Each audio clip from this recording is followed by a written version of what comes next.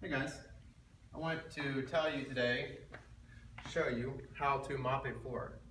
I've had a janitorial cleaning business for about 11 years and I have also bought another one since. So I want to show you what you do. You make your mop water and you don't want it too soapy, but you want it soapy enough. So what I want to show you here is you see some people doing like a something like like that, and that's not really the best way. I mean, maybe if you have to get in behind a toilet or something, but when you, when you're mopping, you're not trying to do this. That's not very efficient.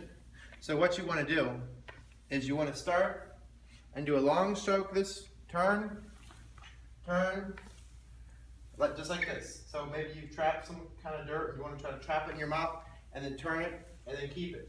Obviously, you're supposed to vacuum the floor before you do this. So right here, to come along the edge of the wall, I can spin it, come here, and go like this. And you can cover quite a bit of ground very quickly.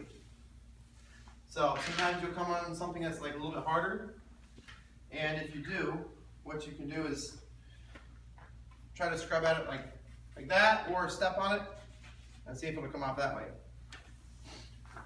So this is the proper way to do a mop, guys. Um, if you have any questions, please leave them in the comments. Also, if you notice, the grout isn't super dirty looking, like in some places. Um, sometimes if you just add a little bit of chlorine or bleach to your water, it's really good. I don't think I have any, I didn't put any in this time. But if you do that, be careful walking across if the floor is wet and then walking on carpet or anything. You don't want to add too much, just a little should do. So that's it for now, guys. Have a good day.